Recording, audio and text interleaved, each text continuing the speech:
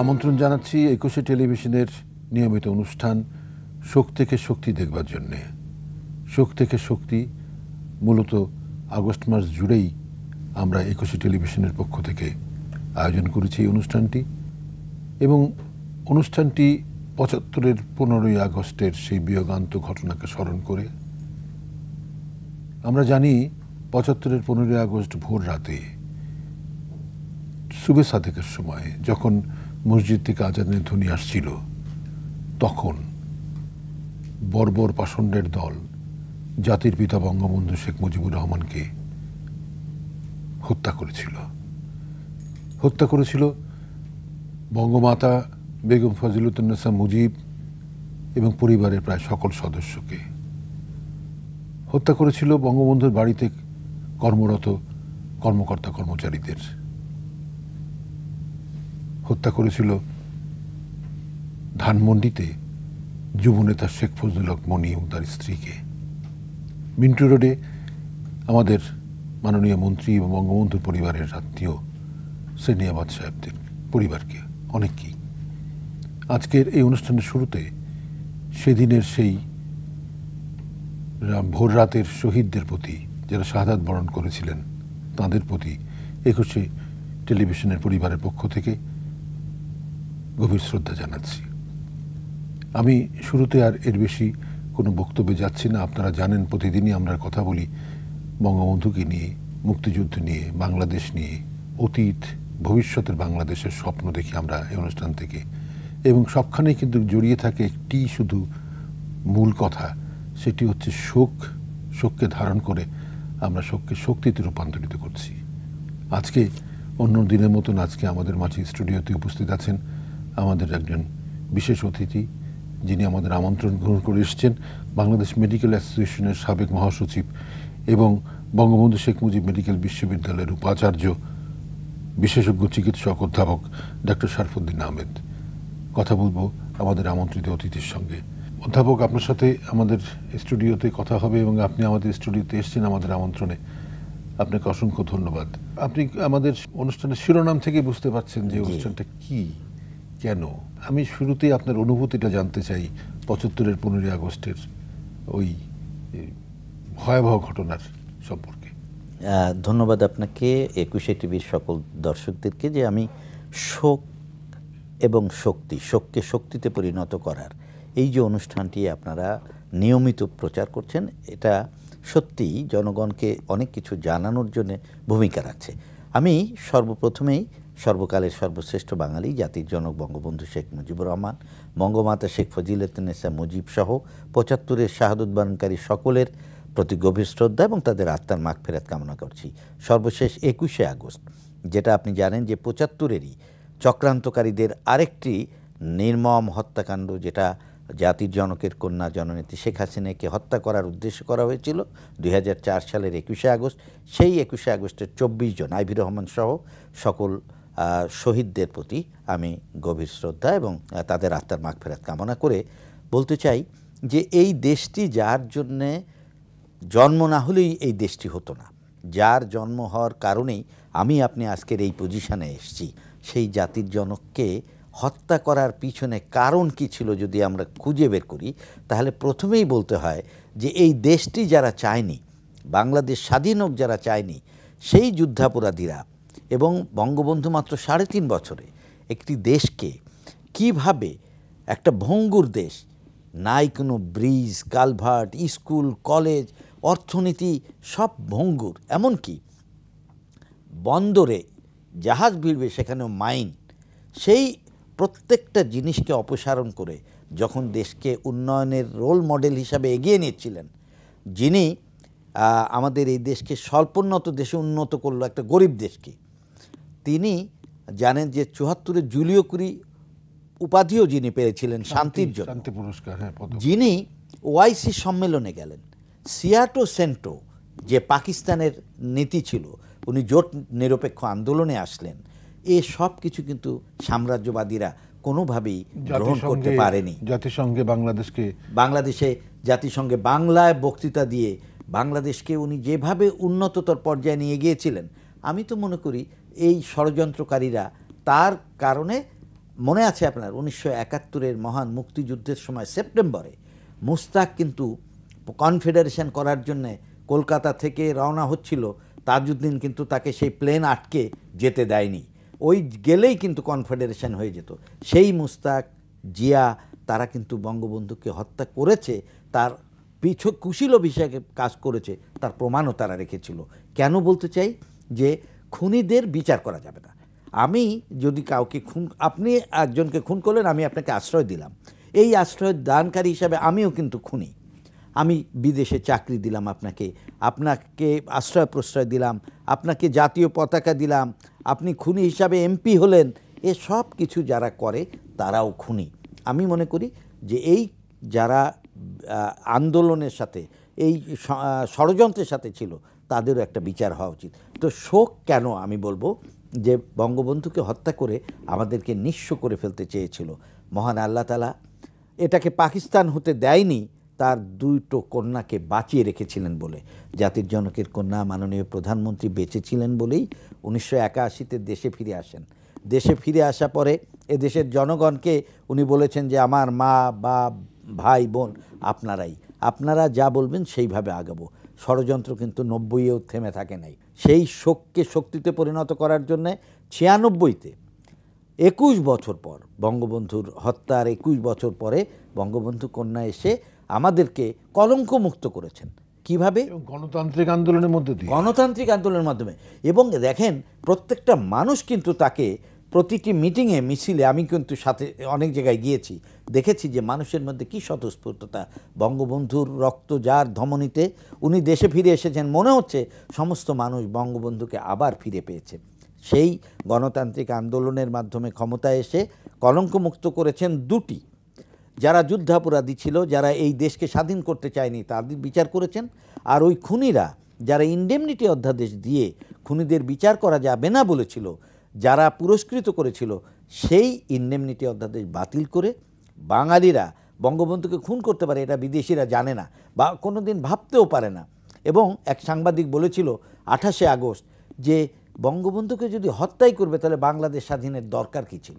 বঙ্গবন্ধু এবং বাংলাদেশ এক এবং অভিন্ন এটা দিয়েই তারা প্রমাণ করেছিল। এবং একজন সাংবাদিক বলেছিলেন ষোলোই আগস্ট যে এই বঙ্গবন্ধুকে যারা হত্যা করেছে আমার মনে হয় ইতিহাস একদিন বলবে যে তাকে তার স্বমহিমায় উদ্ভাসিত যেমন হবেন তিনি সম্মানিত হবেন এবং তার কবরস্থান সবাই যাবে একসময় জিয়ারত করতে। আজকে তো সেটা সত্য প্রমাণিত হচ্ছে জি এবং আপনি লক্ষ্য করেছেন যে উনি বলেছিলেন যে জাতির জনকের এই যে আজকের হত্যাকাণ্ড একসময় ইতিহাস বলবে যে এটা অন্যায় হয়েছিল, যারা খুন করেছিল তারা কুলাঙ্গার এবং তার যে সম্মান, স্বমহিমায় উদ্ভাসিত হবে এবং জাতির জনকের সেই সমাধিস্থলে সবাই শ্রদ্ধা জানাতে যাবে আজকের দিনে যা ইতিমধ্যে এবং জাতির জনকের সুযোগ্যা কন্যা মাননীয় প্রধানমন্ত্রীর পদ্মা সেতুর কারণে। আজকে আপনি লক্ষ্য করেছেন প্রতিটি দিন যারা পদ্মা সেতু দেখতে যায় তারা জাতির জনকের সমাধিস্থলে তাকে শ্রদ্ধা জানাতে যাচ্ছে। হাজার হাজার মানুষ হাজার হাজার মানুষ। এবং আপনি কি খেয়াল করেছেন মাত্র বিয়াল্লিশ দিনে একশো কোটি টাকা এই পদ্মা সেতুর পার হওয়ার জন্যে, আসা যাওয়ার জন্যে এটা কিন্তু ইনকাম হয়েছে। অর্থাৎ আমরা এমন এক পর্যায়ে আজকে এসেছি যে আমরা আমাদের শোকটাকে শক্তিতে পরিণত করতে পেরেছি। এই পদ্মা সেতু বলুন আজকের যে মেট্রো রেল আজকে পায়রা বন্দর, আজকে কর্ণফুলী টানেল মাননীয় প্রধানমন্ত্রী ওই যে ছিয়ানব্বইতে ক্ষমতায় আসলেন, কোলাঙ্গারদেরকে শাস্তি দেওয়ার সুযোগ পেলেন ইন্ডেমনিটি অধ্যাদেশ বাতিল করলেন আজকে আপনি বাংলাদেশের যে উন্নয়ন আমরা দেখতে পাচ্ছি, ভিত্তি রচনা কিন্তু ছিয়ানব্বই থেকে শুরু হলো। আর দুই হাজার একে এসে আপনার কি জানা আছে? দেখেন, বঙ্গবন্ধু মৃত্যুর পরেও তিনি যে অত্যন্ত শক্তিশালী, তার প্রমাণ তারা রাখল। বঙ্গবন্ধু শেখ মুজিব মেডিকেল বিশ্ববিদ্যালয়, উনিশশো আটানব্বই তিরিশে এপ্রিল, বঙ্গবন্ধু কন্যা দীর্ঘ একুশ বছর পরে ক্ষমতায় এসে চব্বিশ বছর পরে এটা হলো। এটা চিকিৎসকদের দীর্ঘদিনের দাবি, জনগণের দাবি। সেই বিশ্ববিদ্যালয়ের দুই হাজার একে এসে তারা কিন্তু ওই যে সমস্ত সাইনবোর্ড বঙ্গবন্ধুর নামটা মুছে ফেলে। প্রত্যেকটি গাড়ির বঙ্গবন্ধুতে আলকাতরা দেয়। অর্থাৎ তারা কিন্তু বঙ্গবন্ধু নামটাকে কতখানি ভয় পায় তার প্রমাণ তারা আবার রেখেছে। আপনারা জানেন দুই হাজার নয়ে বঙ্গবন্ধু কন্যা আজকে ক্ষমতায় এসেছেন বলেই, তার ধারাবাহিকতা আছে বলেই আজকে দেশ উন্নয়নের চরম শিখরে। এবং বঙ্গবন্ধু কন্যা, আপনার মনে আছে দুই হাজার চার সালে বঙ্গবন্ধু কন্যাকে কেন হত্যা কর- হচ্ছিল? পঁচাত্তরে বঙ্গবন্ধু কন্যা জননেত্রী শেখ হাসিনা এবং শেখ রেহানাকে হত্যা করতে পারে নাই বলে। পঁচাত্তরে যারা খুনি ছিল, তাদের যে উত্তরসূরিরা দুই হাজার চারে ক্ষমতায় ছিল, দুই হাজার একে আসার পরে, সেই খালেদা নিজামী সরকার, তারেক রহমানরা, তখন কি করেছিল? বঙ্গবন্ধু কন্যাকে যদি হত্যা করা যেত, ভবিষ্যতে আর কোনো দিন আওয়ামী লীগের নাম থাকবে না, এটা তারা ভেবেছিল বলে হত্যাকাণ্ড ঘটিয়েছিল। আমি বলব যে তারা হত্যা অধীনও যেমন করতে পারেনি এই চব্বিশ একুশে আগস্ট দুই হাজার চারের শোকটাকেও আমরা শক্তিতে পরিণত করতে পেরেছি কথা সূত্র ধরে আমার বলতে ইচ্ছে করছে যে পঁচাত্তরের পনেরোই আগস্টের ধারাবাহিকতায় তেসরা নভেম্বর তেসরা নভেম্বর এবং তারপরে এসে আমি দুই হাজার চারের একুশে আগস্ট। এবং মাননীয় প্রধানমন্ত্রী কিন্তু বলেছেন যে ষড়যন্ত্র এখনও চলছে। এবং তারা এখনও এ ধরনের আক্রমণ অব্যাহত রাখবে। এই ব্যাপারে একটু শুনি আপনি জানেন যে ওনাকে যে ওই যে মুফতি হান্নান সহ কত কেজি ওজনের বোম বাস্ট করতে চেয়েছিল গোপালগঞ্জে। লাল দিঘি ময়দানে তাকে হত্যা করতে চেষ্টা করেছিল। উনিশ বার তার উপরে বোমা বর্ষণ করা হয় তাকে হত্যা করার জন্য। যখন একুশে আগস্টেও তারা হত্যা করতে পারে নাই পরবর্তী পর্যায়ে সে- জানেন যে লুকিং ফর শত্রুজ এই কথা বলেছিল লুৎফুজ্জামান বাবর। তারপরে আমরা তাদের সাথে যারা ওই যে হারিস চৌধুরী সহ তারেক রহমান সহ সবাই যারা দোষী আমরা আদালতের মাধ্যমে পেয়েছি। তো তারা এখনও তদন্তে বেরিয়ে এসে এখনও তাদের শাস্তি হয়নি। আমি মনে করি বঙ্গবন্ধুর সেই খুনি যারা কুশীলোভ ছিল তদন্ত করে তাদের বিরুদ্ধে ব্যবস্থা নেওয়া উচিত। যদি প্রয়োজনে মরণোত্তর শাস্তি আপনি বোধহয় আন্তর্জাতিক জায়গাটা একটু বাদ দিয়ে যাচ্ছে জি জি জি। আর যে যে গ্রেনেড এটা পাকিস্তান থেকে এসেছিল। পাকিস্তান চায় না যে বাংলাদেশ স্বাধীন হোক উন্নত হোক। এবং বাংলাদেশের সাথে পাকিস্তান আর পূর্ব পাকিস্তানের কনফেডারেশন তার স্বাধীনতা যুদ্ধের সময় কি বলতে চাচ্ছেন যে একাত্তরের পরাজয় তারা মেনে নেয় মেনে নেয়নি এবং আজও নেয়নি। তারই ফলশ্রুতিতে দুই হাজার চারে যেমন করেছে এখনও আপনি লক্ষ্য করেছেন। আমি সেদিন এক জায়গায় বলছিলাম যে বঙ্গবন্ধু বলেছেন যে তোমাদের যার যা কিছু আছে তাই নিয়ে শত্রুর মোকাবেলা করতে হবে। সেই শত্রু কারা? একাত্তরের পরাজিত শত্রু। পঁচাত্তরে যারা বঙ্গবন্ধুকে খুন করেছে সেই শত্রুরা। এমনকি দুই হাজার তেসরা নভেম্বরের সেই খুনিরা আর দুই হাজার চারের একুশে আগস্ট যারা খুন করতে চেয়েছিল বঙ্গবন্ধুকে সেই শত্রুদেরকে মোকাবেলা করার কথাই আমার বারবার মনে হয় বঙ্গবন্ধুর ওই কথাটি আজও আমাদের সবার মনে রাখা উচিত। কারণ বঙ্গবন্ধু নাই। বঙ্গবন্ধু কন্যাকেও তারা হত্যা করতে চেয়েছিল। একমাত্র বঙ্গবন্ধু কন্যা বেঁচে আছে বলে বাংলাদেশ আছে উন্নত হচ্ছে এবং বাংলাদেশের বহু মানুষ মৃত্যুর হাত থেকে রক্ষা পেয়েছে। আল্লাহ তালা তাদেরকে হায়াত দিয়েছেন আপনার এই কথার সূত্র ধরে আমরা একটা বিরতিতে যাব যে বঙ্গবন্ধুর কন্যা বেঁচে আছেন বলেই বাংলাদেশ বেঁচে আছে বাঙালি জাতি বেঁচে আছে। আমরা একটা বিরতিতে যাচ্ছি ফিরবো তারপরে কথা বলব।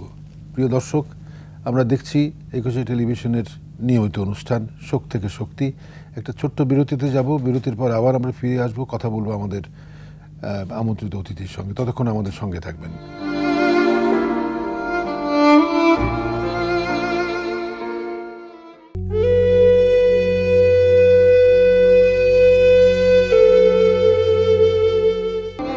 ফিরে আসছি আমাদের অনুষ্ঠানে। কথা বলছি আমাদের আমন্ত্রিত অতিথির সঙ্গে। আপনি এতক্ষণ যেটা বলেছেন, এই কথাগুলো যথার্থই সত্য এবং বারবার বলতে হবে, বারবার মানুষকে জানাতে হবে এই সত্যগুলো। কিন্তু আমি আপনার কাছে এখন একটু জিনিস আলোচনায় আনতে চাই, সেটি হচ্ছে আপনার কথা সূত্র ধরেই যে বঙ্গবন্ধু যেখানে হাত দিয়েছেন মাত্র সাড়ে তিন বছরে, হাত দেননি এমন কোনো জায়গা নেই। এবং আমার প্রধানমন্ত্রী বঙ্গবন্ধু কন্যাও সেটা বলেন, যেটাই করতে যাই সেখানেই দেখি বাবার ছোঁয়া। বঙ্গবন্ধু শিল্প খাতে হাত দিয়েছিলেন, কৃষি খাতে হাত দিয়েছিলেন সংবিধানের কথা তো আপনি জানেন মাত্র নয় মাসের নয় পৃথিবীর ইতিহাসে বিরল। উনি স্বাস্থ্য খাতেও হাত দিয়েছিলেন গণমুখী স্বাস্থ্য ব্যবস্থার কথা বলতেন অসাম্প্রদায়িক বাংলাদেশের কথা বলতেন। আপনার কাছ থেকে আজকে যখন পেয়েছি বঙ্গবন্ধুর এই গণমুখী স্বাস্থ্য ব্যবস্থা সম্পর্কে একটু কথা আপনার কাছ থেকে শুনি। মৌলিক অধিকার পাঁচটি সম্পর্কে আমরা সবাই জানি। অন্ন বস্ত্র বাসস্থান চিকিৎসা এবং শিক্ষা। প্রত্যেকটা ক্ষেত্রে বঙ্গবন্ধু তখনই হাত দিয়েছিলেন। তার প্রথমটি হলো যেমন ধরেন খাবারের জন্য, কৃষি ব্যবস্থার যেমন উন্নয়ন, খাল কাটা আপনার মনে আছে যে বিভিন্ন জায়গায় খননের কাজ উনি করেছিলেন এবং আমার মনে আছে চন্দনা বারাসিয়া যে প্রকল্পটি বোয়ালমারিতে উনি এটা উদ্বোধন করেন, সেখানে আমারও থাকার সুযোগ হয়েছিল উনিশশো তিয়াত্তরে। এই যে জনগণকে খাদ্যে উন্নত করার জন্য উনি ব্যবস্থা নিয়েছিলেন। কৃষিক্ষেত্রে জলিল সাহেব ছিলেন তখন সচিব। কবির চৌধুরীকে সচিব নিয়েছিলেন শিক্ষাক্ষেত্রে। একজন শিক্ষাবিদকে। কুদরতে খোদা শিক্ষা কমিশন করেছিলেন। স্বাস্থ্যক্ষেত্রে গণমুখী স্বাস্থ্য ব্যবস্থা উন্নয়নের জন্য সেই সময় টি হোসেন স্যার ওনাকে ডিজি এবং সচিব করা হয়। উনি কিন্তু একজন চিকিৎসক। এবং এর পরে ওনার যে সমস্ত চিন্তা ছিল, তখনকার পাকিস্তানে চারটা ডিভিশন ছিল, সেই ঢাকা, রাজশাহী, চিটাগাং, খুলনা। এই চারটা ডিভিশনে চারটা মাত্র হেলথ কমপ্লেক্স ছিল। বঙ্গবন্ধু এসে তিনশো সাতানব্বইটি হেলথ কমপ্লেক্স করেন, থানা হেলথ কমপ্লেক্স। এবং ওনার ইচ্ছা ছিল আরও জনগণের দোরগোড়ায় কীভাবে নিয়ে যাওয়া যায়। বঙ্গবন্ধু কন্যা এই কমিউনিটি ক্লিনিক করতে গিয়ে বলেছেন, আমার বাবার সেই স্বপ্ন, ছয় হাজার মানুষের জন্য কমিউনিটি ক্লিনিক উনি তৈরি করেছেন। এটা জনগণকে স্বাস্থ্যসেবা দেওয়ার জন্য। আপনি কি জানেন এই যে আজকের আইপিএজিএমআর উন্নত করা বিসিপিএস প্রতিষ্ঠা করা, Bangladesh college of physicians and surgeons, উনি বাংলাদেশ মেডিকেল রিসার্চ কাউন্সিল, সেই বাহাত্তরে প্রতিষ্ঠা করেন। রিসার্চ মেডিকেলেও রিসার্চ করতে হবে। ফার্মাসিউটিক্যাল বাংলাদেশে তৈরি করতে হবে, যেটা বিদেশ থেকে ওষুধ না টিসিবি দিয়ে প্রথম এনেছেন। পরবর্তীতে উনি এই ফার্মাসিউটিক্যাল কোম্পানি এই দেশেই তৈরি করেছেন। আপনি জানেন BMDC Bangladesh medical and dental council উনি প্রতিষ্ঠা করেন। নিউট্রিশন কাউন্সিল মানে পুষ্টি পরিষদ, in institute of public health উনি প্রতিষ্ঠা করেন। এবং আপনি জানেন যে স্যালাইন তৈরি কুকুরের কামড়ানো ভ্যাকসিন অ্যান্টি র্যাবিস ভ্যাকসিন এগুলো ওই সময় কিন্তু তৈরি করেন। আরও যে কয়েকটি স্বাস্থ্যক্ষেত্রে ওনার অবদান, যে মেডিকেল কলেজগুলোকে উন্নত করা, মিটফোর্ড হাসপাতালকে তিনি তখন ছিল এলএমএ পড়ানো হতো। সেই মেডিকেল অ্যাসিস্ট্যান্ট তাদেরকে এমবিবিএস পর্যায়ে সেই মেডিকেল কলেজকে তৈরি করা হয়, তখনই মেডিকেল এমবিবিএসে ভর্তি হয়। আরও উনি সেই সময় আমাদের প্রতিটি, তখন ছিল থানা লেভেল তারপরে জেলা লেভেল চিকিৎসা ক্ষেত্রে যত যন্ত্রপাতি যত লেটেস্ট ইকুইপমেন্ট এগুলো আনার ব্যবস্থা করেন। যে মুহূর্তে দেখা গেল সব তো আমার দেশে নাই। জার্মানিতে উনি মুক্তিযোদ্ধাদের চিকিৎসার জন্য পাঠান। আপনি জানেন নিটোরে এখন যেটা পঙ্গু হাসপাতাল ছিল যেটা ওটা নিটোর নাম হয়েছে। ওই নিটোরে উনি গাস্ট সাহেবকে এনেছিলেন। জার্মানির সেই অর্থোপেডিশিয়ান তাকে এনে অনেক পঙ্গু মুক্তিযোদ্ধাদের চিকিৎসা উনি করেছেন। আপনি জানেন যে ওই সময় যে সমস্ত শিশু সন্তান ও হ্যাঁ সেই শিশুদেরকে কীভাবে বিদেশে তাদেরকে সহায়তা নিয়ে তাদেরকে কিন্তু পুনর্বাসনের ব্যবস্থা করেছেন। মানে যুদ্ধ শিশুর কথা বলছেন? জি যুদ্ধ শিশু এখানে মানবিক একটা জিনিস আপনি দেখবেন এই যুদ্ধ শিশুদের পিতার নাম। হ্যাঁ বঙ্গবন্ধু শেখ মুজিবুর রহমান। এটা কখনোই কেউ ভাবতে পারে না। এটা একমাত্র এই ধরনের একজন বিশাল হৃদয়ের অধিকারী না হলে এ কথা কেউ বলতো না। জাতির পিতা আসলে এত বিশাল হৃদয়ের অধিকারী যে তার চেহারাটা দেখলেই আমাদের মনে হয় যে শরীরের মধ্যে মনোবল বৃদ্ধি পায়, শক্তি বৃদ্ধি পায়। সেই জন্যেই আপনার যে অনুষ্ঠান, শোক থেকে শক্তি, আমরা কিন্তু শক্তি পেয়েই যাচ্ছি এবং সেই শক্তি বর্তমানে। মাননীয় প্রধানমন্ত্রী ধারণ করেন বলেই এই দেশটাকে উনি একের পর এক এগিয়ে নিয়ে যাচ্ছেন। মনে আছে আপনার? একসময় যুক্তরাষ্ট্র অর্থাৎ আমেরিকার প্রেসিডেন্ট বলেছিল, আমাকে গ্যাস দেওয়া হোক পঞ্চাশ বছরের।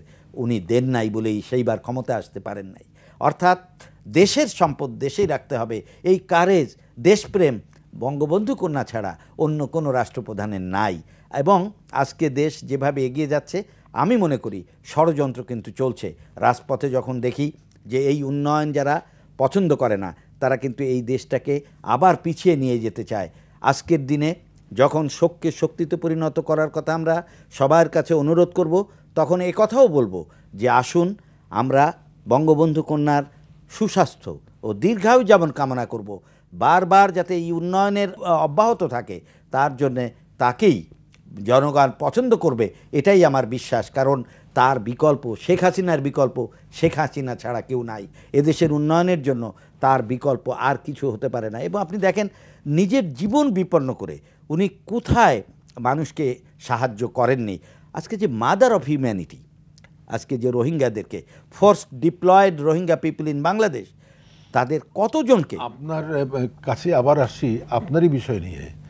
এই যে রোহিঙ্গার কথা বলছেন তাদের চিকিৎসা খাওয়া দাওয়া ঠিক আছে চিকিৎসার ব্যাপারেও দেখেন। কোভিডের সময়টা দেখেন কীভাবে? জি। এটা একটু শুনি আপনার জি। দেখেন এই রোহিঙ্গাদের চিকিৎসা তাদেরকে এই যে আমরা কিন্তু করোনার টিকা জানেন তো মাত্র বত্রিশটা দেশে যখন টিকা দেওয়া হয়েছে তার মধ্যে আমরা ছিলাম প্রথম দিকের। এবং অনেক উন্নত দেশে অনেক উন্নত দেশেও তখনও পায়নি। আজকে তো বিশ পার্সেন্টের বেশি আফ্রিকাতে এখনও টিকা দিতে পারেনি আর আমি এখন বাচ্চাদেরও টিকা দিচ্ছি পঁচিশে আগস্ট থেকে। জাতির জনকের কন্যা এনেছেন বলে হাজার হাজার কোটি টাকার কিট এনেছেন বিনামূল্যে টেস্ট করছেন বিনামূল্যে যে টিকা দিচ্ছেন যার কারণে আপনি জানেন যে আমরা প্রায় তেরো কোটি মানুষকে আমরা ফার্স্ট ডোজ দিয়েছি। প্রায় বারো কোটি মানুষকে সেকেন্ড ডোজ দিয়েছি। আমরা চার কোটি মানুষকে বুস্টার ডোজ দিয়েছি। আজকে বুস্টার ডোজ দেওয়ার পরে আজকেই আমার একটা গবেষণার ফলাফল ছিল বঙ্গবন্ধু বিশ্ববিদ্যালয়।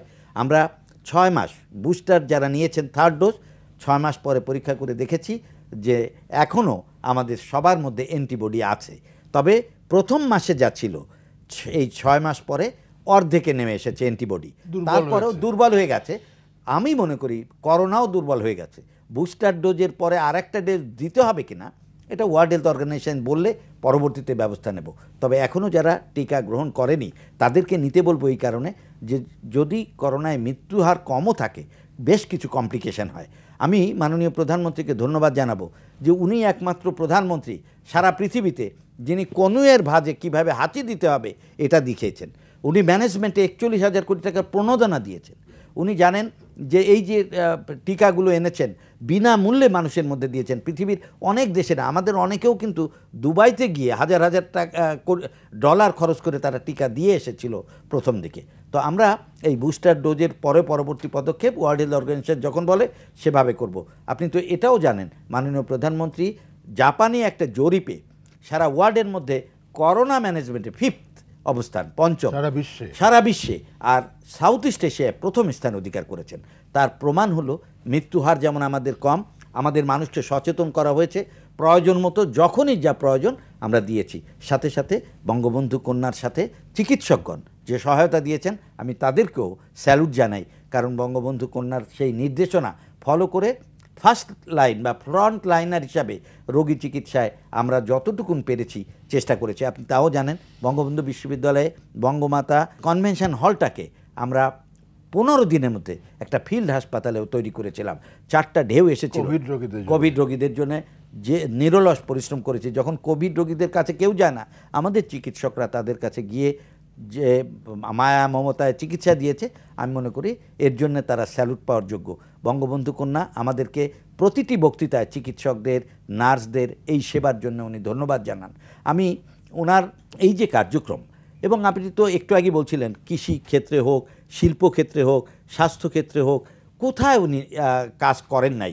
আজকে আমরা যে যোগাযোগ ব্যবস্থায়, আজকে যে উন্নয়ন, আমি তো মনে করি যে আমাদের দেশ আগামী দিনগুলোতে আরও বেশি উন্নত পর্যায়ে গিয়ে সারা দুই হাজার একচল্লিশের মধ্যে যে উন্নত দেশ প্রতিষ্ঠা করতে চান, আমরা সবাই মিলে যদি মাননীয় প্রধানমন্ত্রীকে সহায়তা করি, এদেশের মানুষ যদি ঐক্যবদ্ধ থাকে, আমার মনে হয় দেশের এই উন্নয়ন কেউ বাধাগ্রস্ত করতে পারবে না। মাননীয় অতিথি, আপনাকে থামাতে হচ্ছে যে আমাদের অনুষ্ঠান শেষের দিকে চলে এসেছে এবং আপনার কথার সূত্র ধরেই আর একটু জিনিস বলি যে এই কোভিড সময়ে অনেক চিকিৎসক আমাদের মাছ থেকে চলে গেছেন তাদের জন্য তো খারাপ লাগে এবং তাদের। প্রতি শ্রদ্ধা জানাতে হয় আমাদের শোক থেকে শক্তি আজকে শেষ করতে হচ্ছে এবং আজকে যিনি অতিথি ছিলেন আমাদের সঙ্গে বঙ্গবন্ধু শেখ মুজিব মেডিকেল বিশ্ববিদ্যালয়ের উপাচার্য তিনি শেষ কথাটি যেটা বলেছেন সেটি আজ প্রণিধানযোগ্য সেটি হচ্ছে যে বঙ্গবন্ধু শেখ হাসিনা বাংলাদেশ এবং মুক্তিযুদ্ধ এবং আমাদের অতীত ঐতিহ্য ইত্যাদির বিরুদ্ধে যারা দাঁড়ায় তারা মূর্খ, তারা পাষণ্ড, তারা বর্বর এবং তারা কোনো মতেই কৃতকার্য হবে না তাদের ষড়যন্ত্র যদি আমরা সবাই ঐক্যবদ্ধ থাকি। শেষ করছি, ভালো থাকবেন।